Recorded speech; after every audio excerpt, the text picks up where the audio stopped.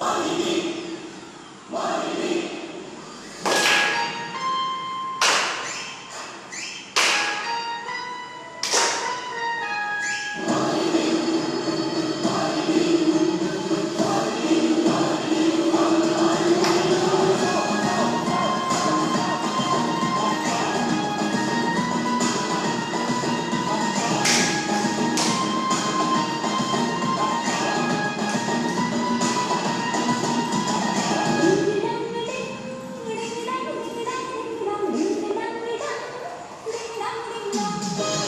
love.